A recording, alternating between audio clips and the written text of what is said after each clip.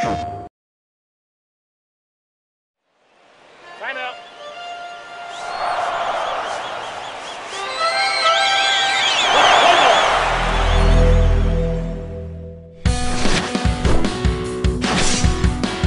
to MLB 11 The Show, Pure Pitching, a more interactive way to pitch using the right analog stick.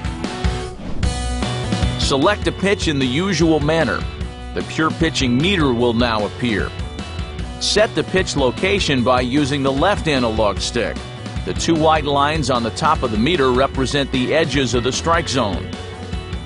To begin, pull down on the stick and a baseball icon will move downward. Push up on the stick and the ball moves back up the meter. The yellow line on the meter represents the ideal height off the pitcher's pitch from its designated target. Releasing the stick too early will result in an underthrow, while releasing too late results in an overthrow. To set the accuracy of the pitch, push the stick in the direction of the set target. If the stick is off target, the meter will display that and your pitch will be off accordingly.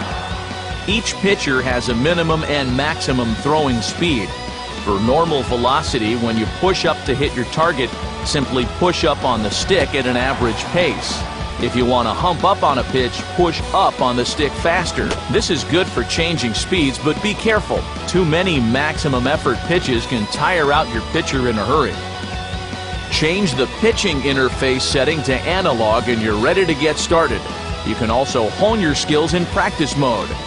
Be ready to show your skills with pure pitching in the show.